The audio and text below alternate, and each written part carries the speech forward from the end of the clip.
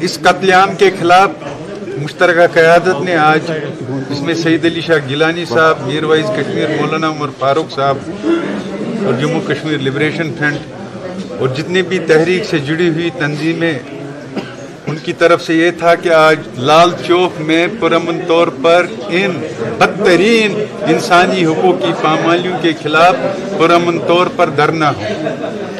لیکن آپ یہاں دیکھ رہے ہیں یہاں جنگل راج ہے اور اس جنگل راج کے ذریعے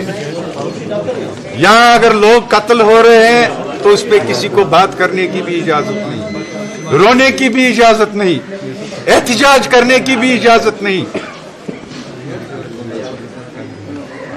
آج بھی آپ دیکھ رہے ہیں کہ فجر نماز سے پہلے مجھے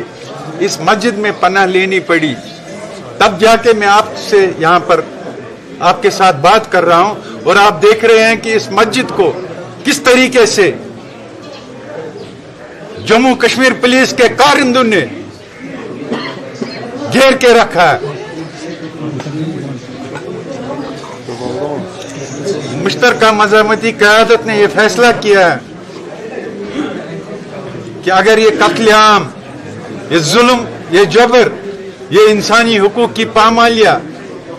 بند نہیں ہوگی تو پھر مشترکہ مذہمتی قیادت کو لوگوں کو یہ کہنا پڑے گا کہ وہ ایک بہت بڑی ایجیٹیشن کے لیے تیار رہے کیونکہ ہر جگہ سے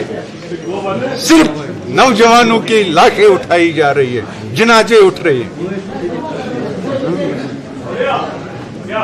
اور یہاں اس پہ نہ ماتم کرنے کی